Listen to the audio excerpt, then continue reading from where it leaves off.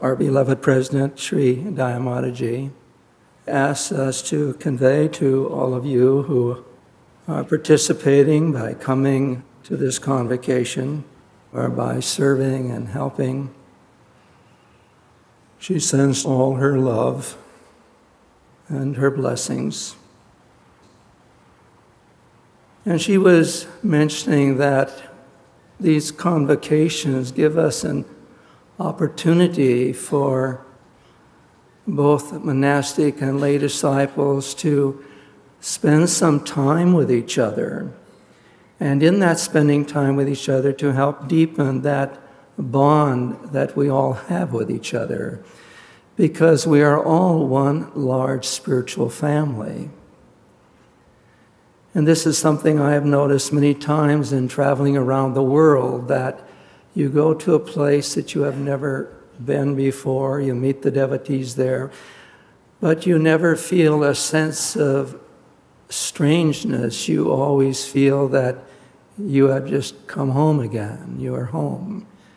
And that is because we are all one spiritual family, as Ma said. Wherever we may be, scattered over this globe, remember one spiritual family. But it's a large family. Guruji ended his autobiography of a yogi by saying, Lord, thou hast given this monk a large family. And it keeps getting larger. And that's nice. So, how can we do what the title of this talk says taking God with you through life? In the deepest sense, God is omnipresent, God is everywhere. So, how, in that sense, can we take Him with us? Wherever we go, He's there.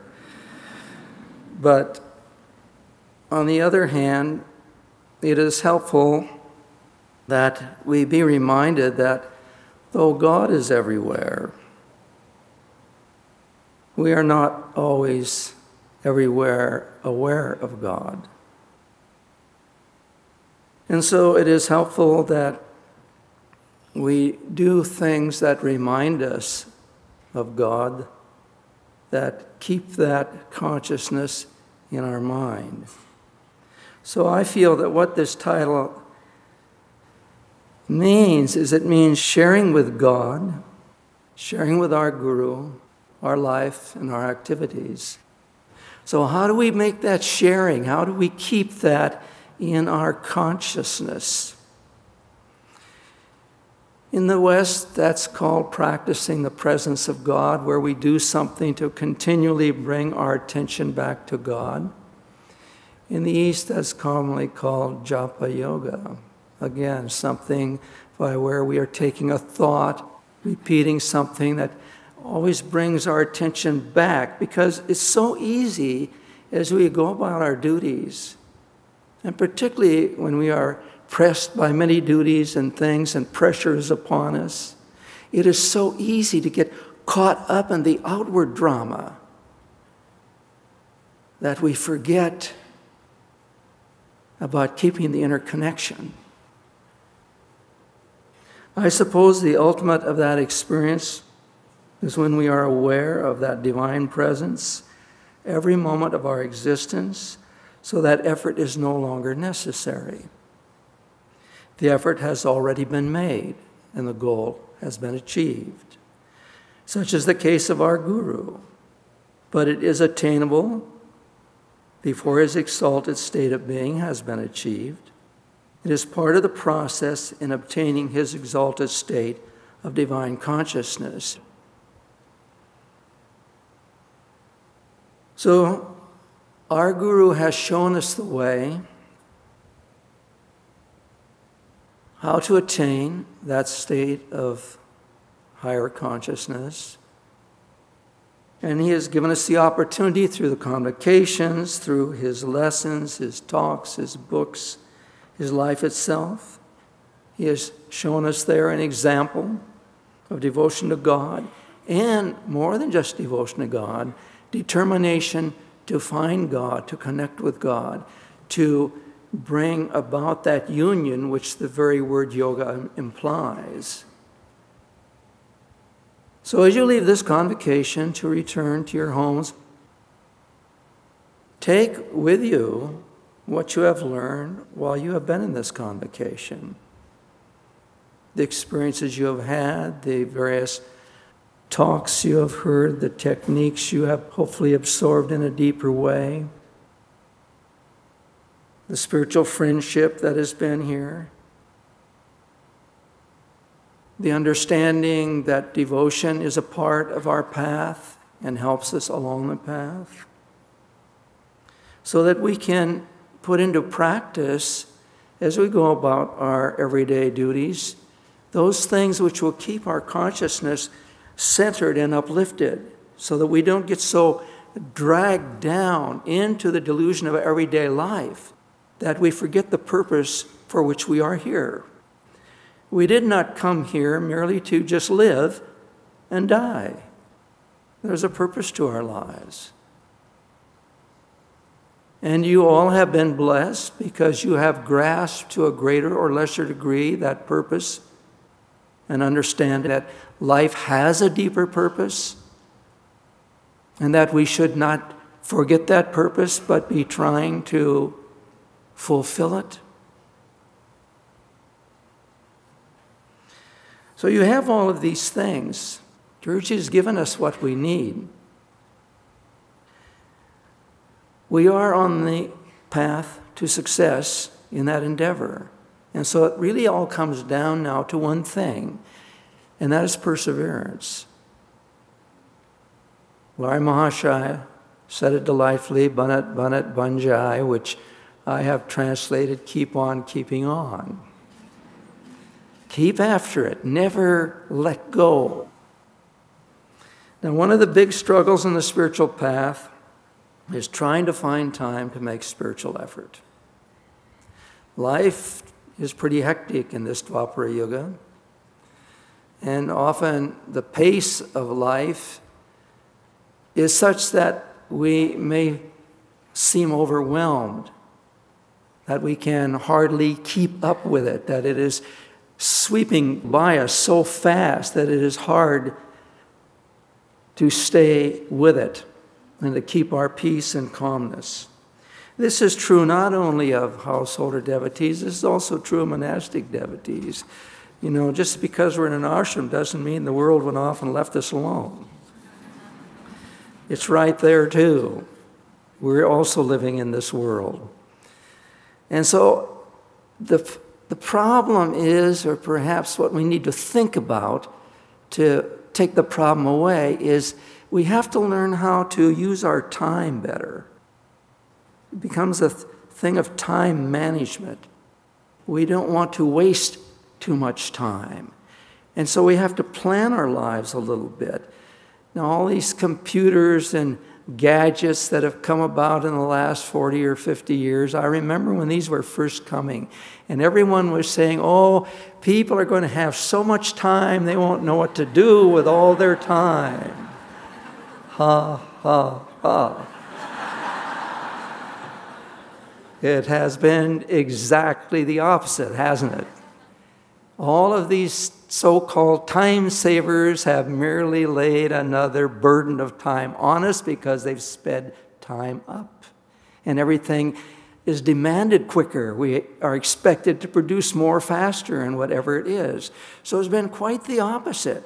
So to keep our peace in such a hurried up state of existence I can see exactly why Babaji sent these teachings at this time. We need it in the Dwapara Yuga. So do whatever you can.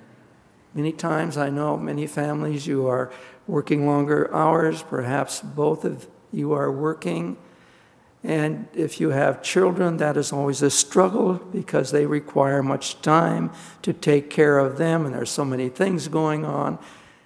But to keep from being frazzled, to keep from being worn out, try, try something about planning at least as much of your day so that you can get in some time for spiritual effort.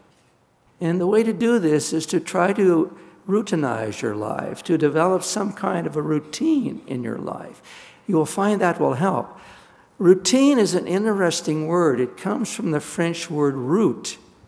And that word literally means to break down the bushes and the grasses and the weeds and sweep them out of the way so you have a clear path in which to move.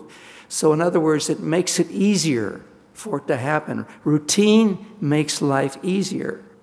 And so, work on routinizing your life a little bit, planning as much as you can.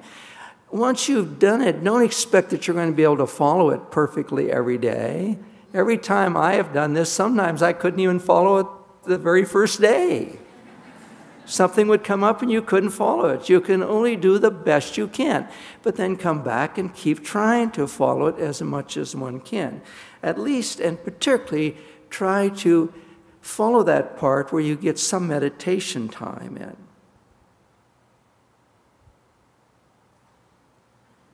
Daya Ma, I remember her talking many years ago in, in a meeting she had with the devotees in the local area here where we were all called together, a large group of people. And as she was ending this and going out of the hall and greeting people as she was going, she continued to talk because I'm sure she was feeling what the devotees were feeling that pressure that they felt in their life.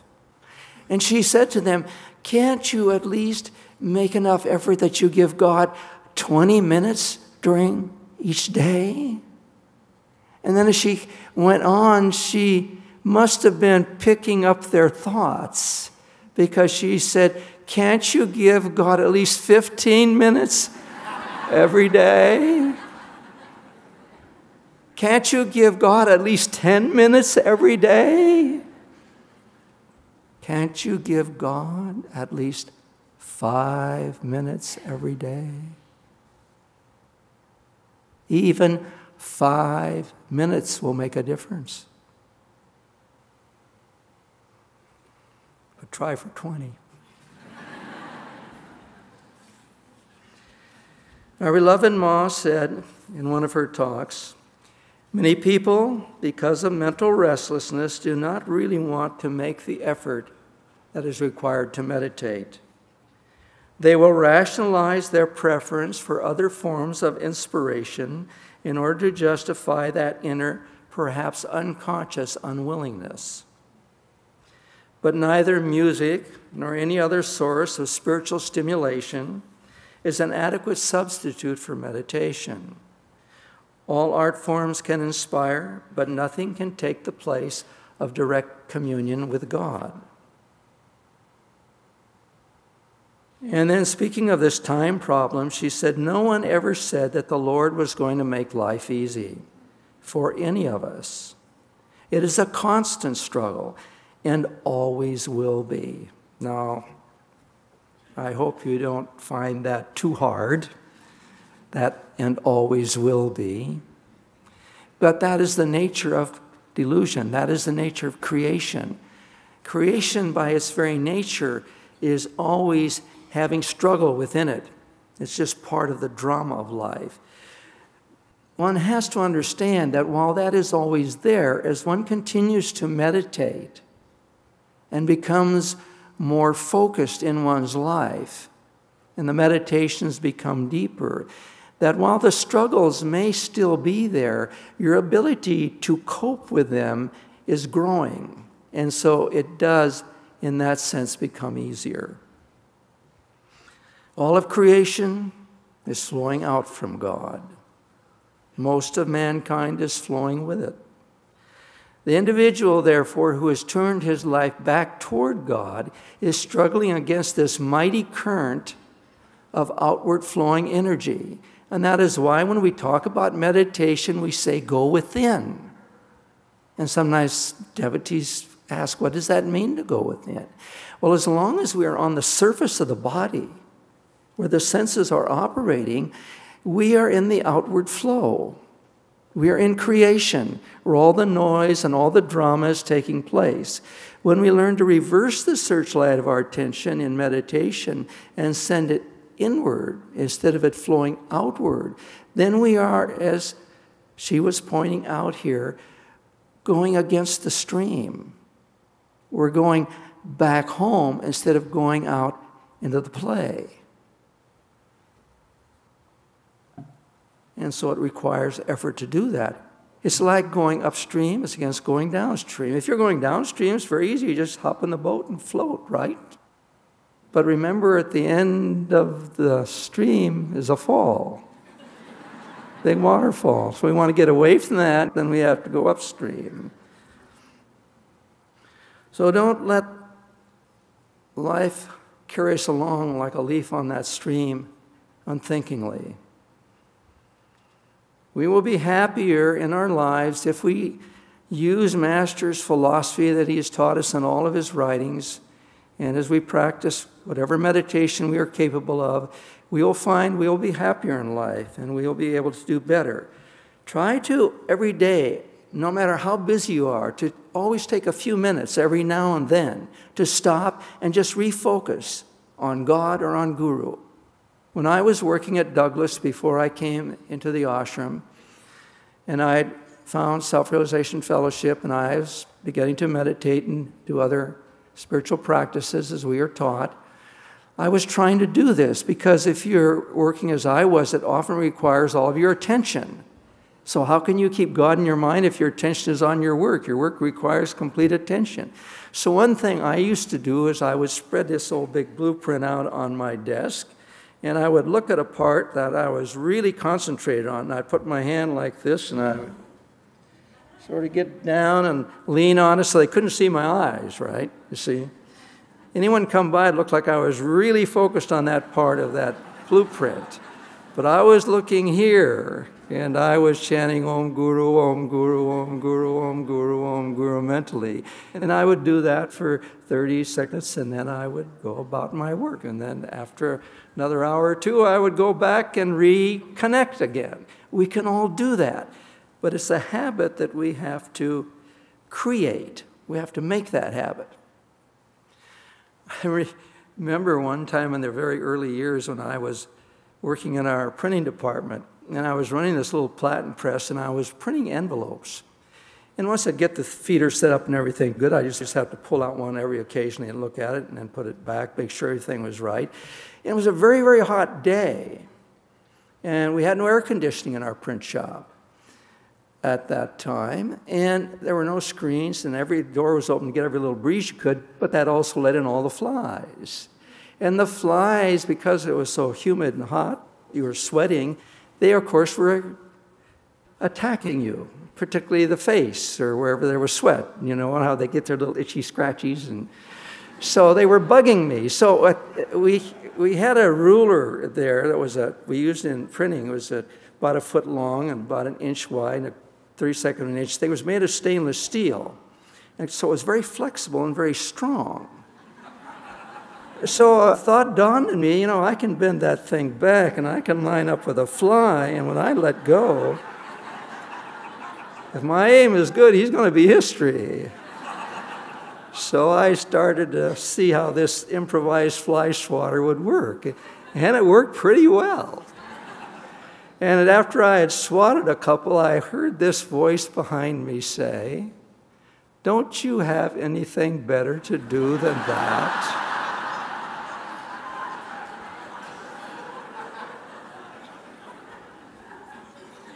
And I turned around to see our dear brother Bhaktananda, who was my counselor, departing from the scene. He didn't wait around to hear my excuses or my attempts to justify my behavior. He just let me know I was off base and left.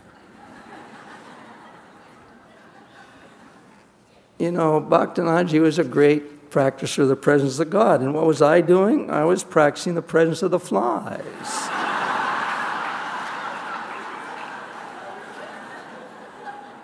so, how often do we all do that? instead of having God in our mind or some spiritual thought in our mind, we're caught in some very mundane thing. And we don't have to be doing that. All it requires is shifting our attention. Daya Ma wrote, Master said a common cause of spiritual discouragement is the devotee's expectation that God's response will come in a great blaze of awe inspiring inner illumination. This erroneous notion dulls the devotee's perception of the subtle divine responses that are present from the very beginning of one's meditative practices. God responds to the devotee's every effort, every devotional call. Even as a novice, you will realize this in your own seeking if you learn to recognize Him as the quiet inner peace that steals over your consciousness. This peace is the first proof of God's presence within. You will know it is He who has guided and inspired you to some right decision in your life. You will feel His strength empowering you to overcome bad habits and nurture spiritual qualities. You will know Him as the ever increasing joy and love that surges deep within, overflowing into your everyday life and relationships. I pray you may more and more feel His nearness and see Him in all the circumstances in your life, and that through meditation and loving Him, you may merge your heart and soul in His omnipresence. And then Guruji said one time, through the centuries, I had been seeking God, and still, He did not answer me. But I said, Lord, someday you will come. I don't care how long I have to wait. I knew that through every noble desire, every good thing I had done, He was with me, and still I was calling Him, though He was so near. So, what Guruji is pointing out to us, we have a tendency to put God far away instead of to realize He's right with us. He's not far away, He's right within. Christ said the kingdom of God is within. God is right with us. But we have to increase our knowing. As long as we are caught in delusion, we aren't aware of that. So when we are making a loving demand to God, as Master taught. And particularly after you have meditated and practiced your techniques in Kriya, then pray lovingly Lord, reveal thyself, reveal thyself, reveal thyself. Just such a simple prayer as that. But it can't be mechanical. In your spiritual efforts, don't allow them to become mechanical. We want to routinize our life, but not our spiritual efforts because if they become too habitual, too routinized, the fire goes out, the flame goes out, and that needs to be awakened so that that call attracts the divine response. If there's someone there I want to talk to and I'm saying, Well, hi, Joe, you know, how are you? and everything, and I'm looking all around and I'm talking to him, nice to see you, you know, and everything. Now, is he going to think I'm really interested in connecting with him? No. Same way when we're trying to connect with God, when we're trying to pray deeply to God, if our prayers are scattered, if our thoughts are scattered, if it just comes from the surface, do we expect a response? God will say, You don't really mean it. You have to make it a, a yearning, a call of the heart, of the soul, of the mind, of every bit of one's being. Come, come, come. You must come. It can be a loving demand. Come, come, come, come to me. Come to me. Come, come, come. And hey, if the tears come, that's okay too. Tears wash away the mud of delusion. Cry for God if necessary. Cry for God. Long for God. If we want God's response, we have to show him we mean business. Otherwise, he thinks we are just going along and he will treat us the same way. Now, when I first came on this path, I had many outer spiritual blessings. And it was probably because God took a look at this skeptical engineer and said, Well, I'm going to have to really show him it works because otherwise he'll be history. You know, he set the hook deep right from the beginning. And boy, he did. And so I had that expectation that that was the way meditation worked. These results were always there. These beautiful experiences were always there. Then, after two years, when I entered the ashram, it was just as if someone took a scissor and cut it off and said, You don't need that anymore. They were gone. And then, basically, God tells us at that time, All right, my child, I've shown you it works. Now get busy and earn it earning it is quite a bit different from just getting it free.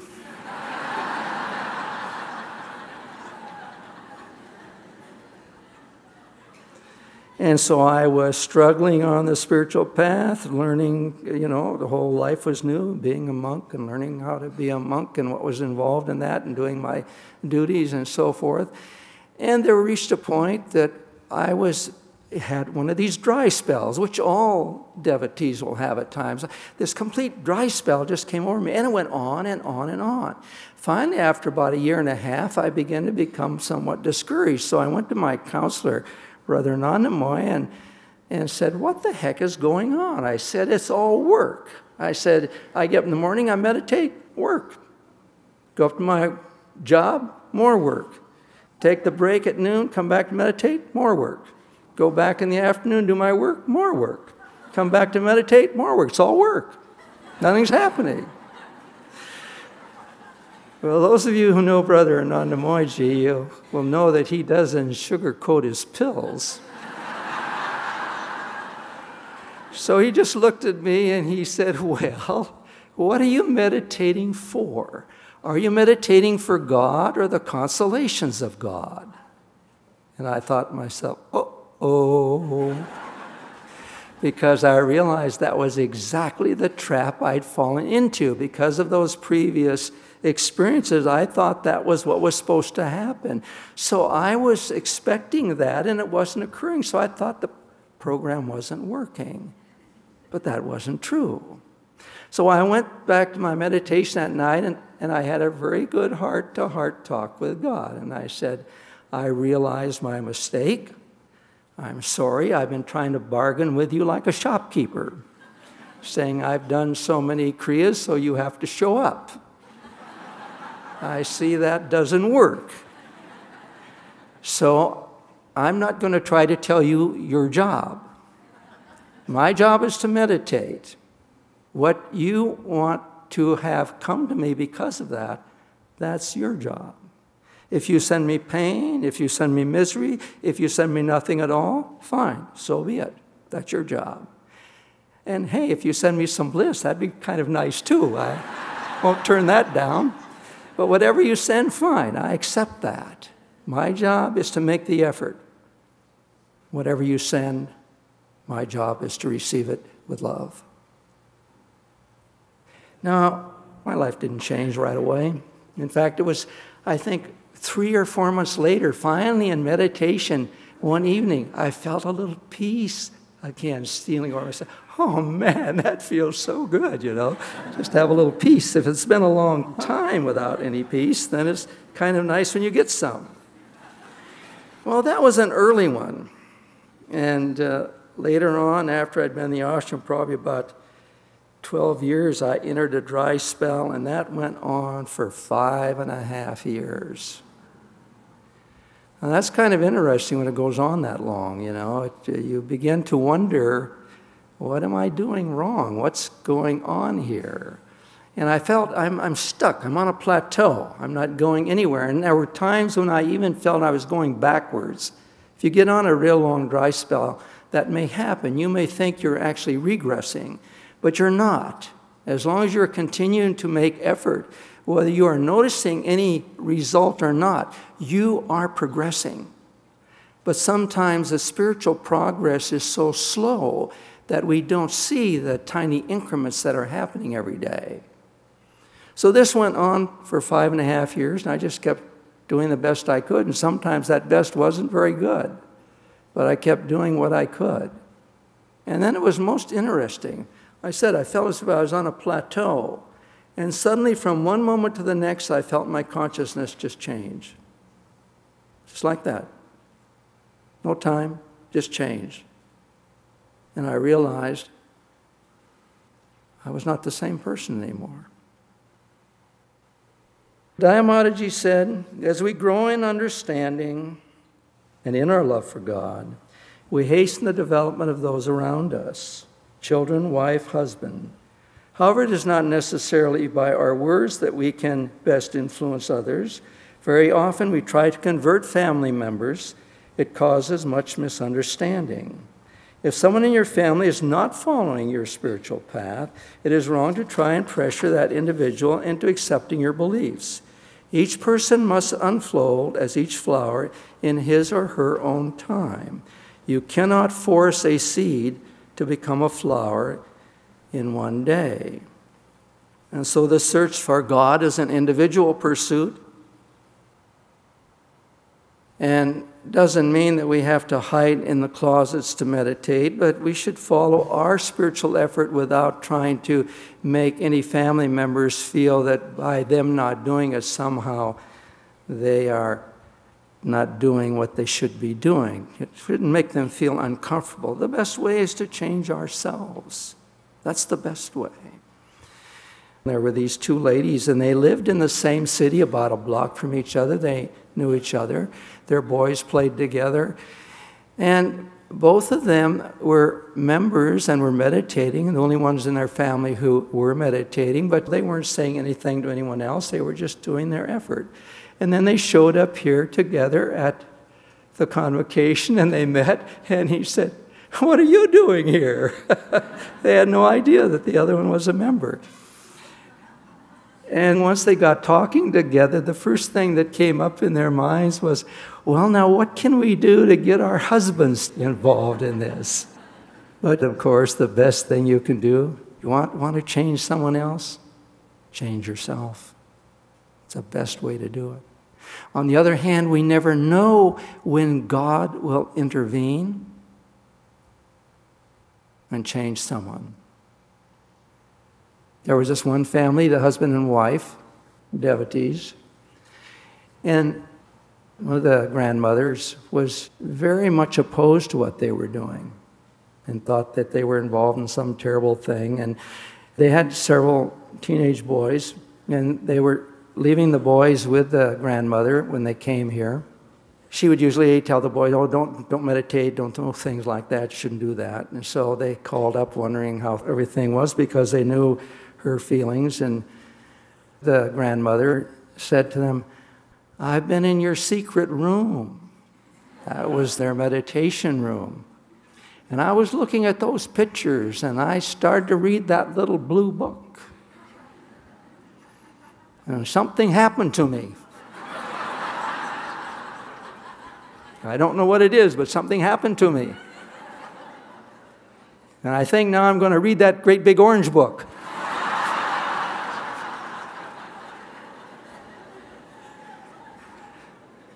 They're wondering what that next phone call is going to be like.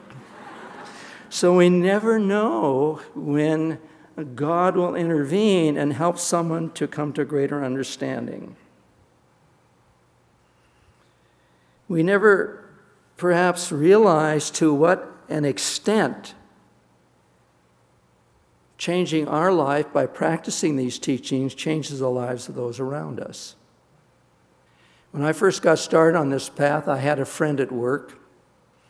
And about six months after I was taking the lessons, he asked me one day, he said, Hey, those lessons you're taking, what do I have to do to get those lessons? And so I asked him, Well, why do you want to know? And he said, Anything that can change you that much in six months, I have to find out about. Well, he started taking the lessons and it changed him too. He's Brother Dharmananda.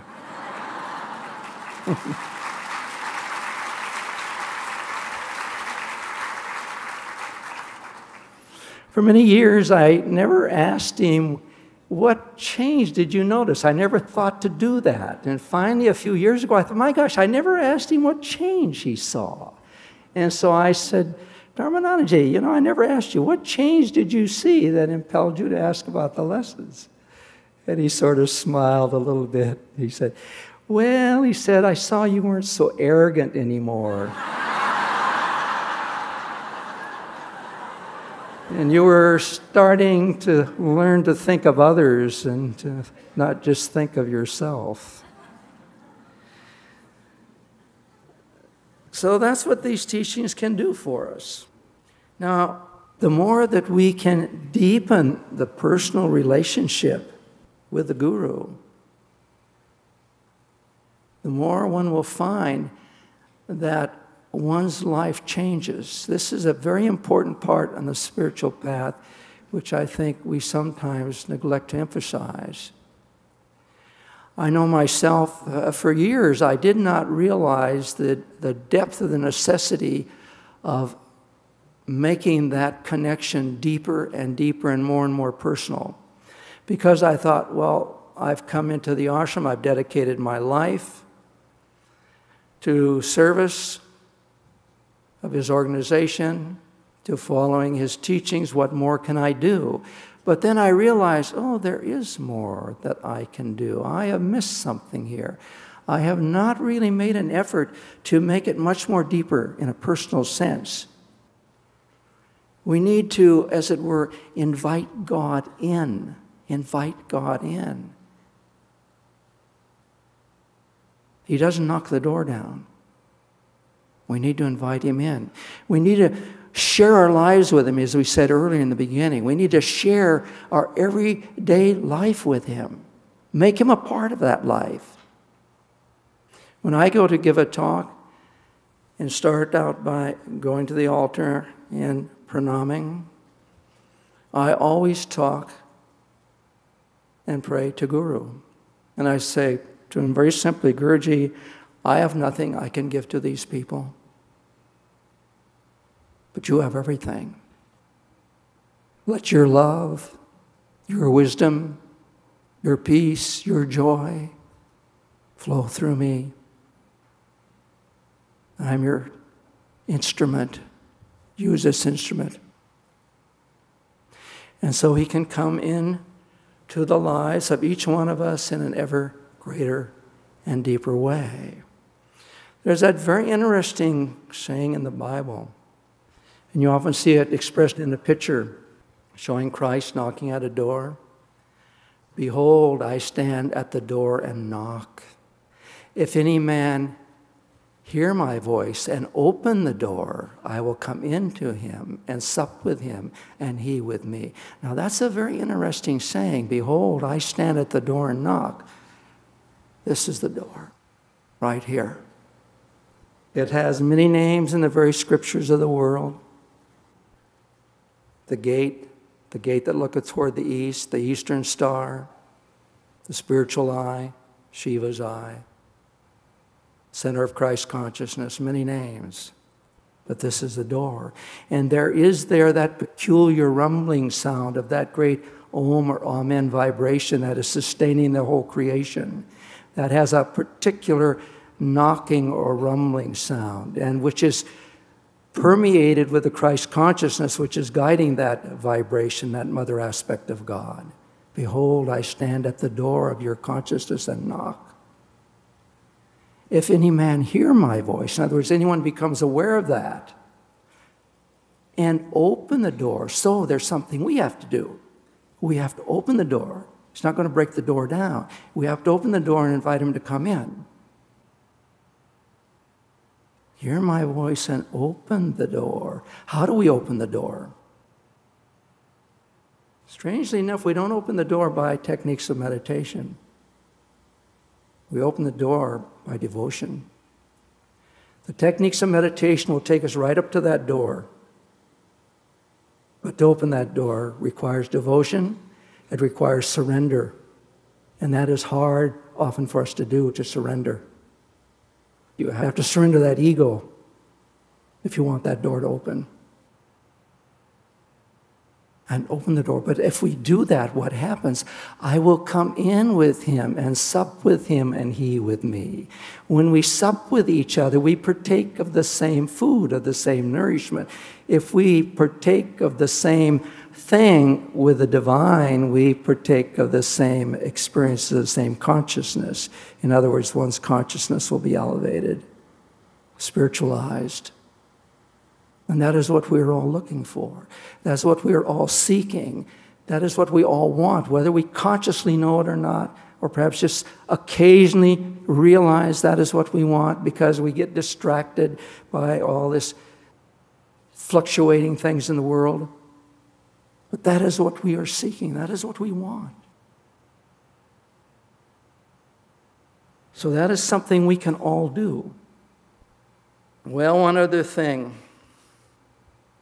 The whole magic of success in any endeavor, spiritual or otherwise, is perseverance.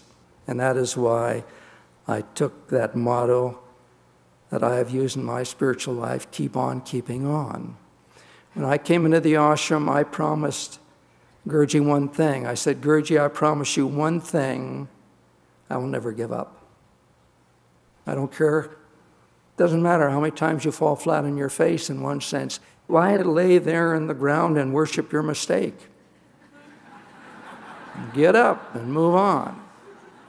Because I've seen sometimes that this is a thing that people do. They make a mistake and they worship it. In other words, they use it as an excuse not to do anything anymore. So they stick it up in the altar and, and then occasionally take it down, beat themselves up with it, and put it back up and bow to it again. You don't do that. If you've made a mistake, apologize for it, ask forgiveness, and move on. Forget it.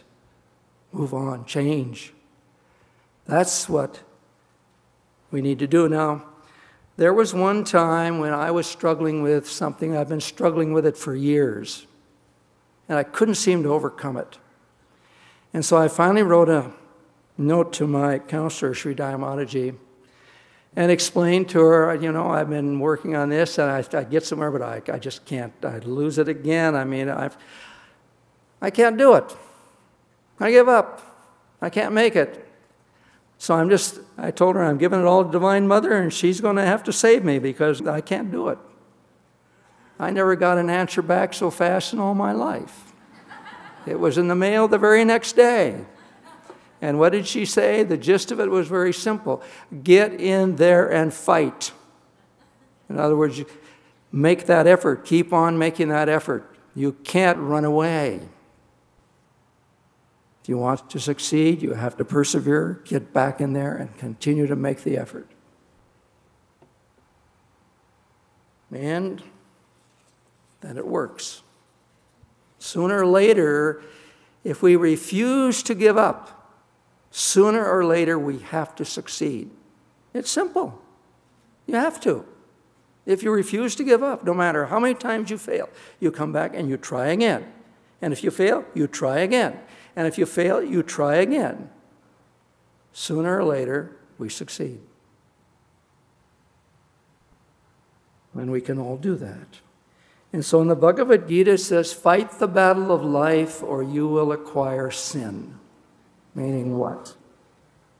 If we refuse to fight the battle of life, we remain caught in delusion. So as you go back to your homes, make the effort. Even if it's just that five minutes a day we talked about, make the effort.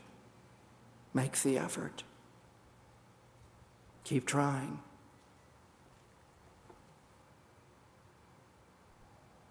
Well, I'll tell you one little more story.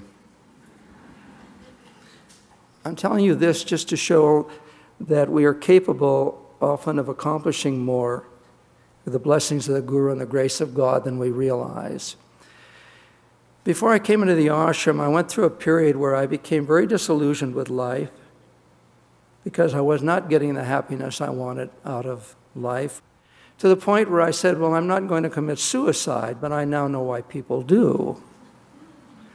So, gradually, as I kept meditating, this got less and less, farther and farther apart, and didn't last as long, but this wasn't completely gone. After I'd been in the ashram for several years, I came down with one of these terrible, depressing moods. And it was with me for three days, and I was walking around the print shop where I was working, spreading gloom everywhere I went. and I walked from one side of the print shop to the other to get something, I no longer remember what. And as I did, I walked by Brother Dharmananda. As I said, he'd been friends before. And he knew what I was struggling with because he'd seen my struggles in this area for some time. So as I walked by him, he looked up from his work with a big smile on his face and said, Hello, Smiley. I was furious. I thought, how dare he call me Smiley? He knows I'm not smiling. But you know, a very interesting thing happened because of that. After walking several paces beyond him, I stopped and I thought, no, wait a minute. He's your friend. He's not trying to hurt you, he's trying to help you. And for the first time in my life, I asked myself a rather obvious question Why am I in this terrible mood? And the answer that came back was very interesting because you like it. I like it. I enjoy being miserable. The answer that came back, you must. You've been holding on to it very tightly for three days now. Now, that was a revelation. And somehow intuitively, I knew what to do. And I just looked her at the spiritual eye, and with every ounce of energy and will I had, I mentally shouted, Get out, get out, and never come back. And that mood was instantly gone, and I've never had another one.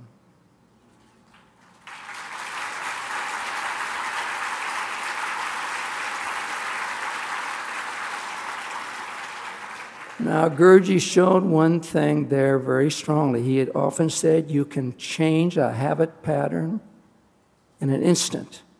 But to do so, I realized, requires all that willpower and all that desire. Sometimes the will is there, but the desire isn't really all there. We may be clinging on to it for some crazy reason, even as I was clinging on to those moods. We maybe don't really want to give it up. Now, I have to admit, in all truthfulness, I've only been able to do this maybe three or four more times where I could change a pattern like that with just one effort. Usually it takes a long time. But we can change it. We have the power to change it.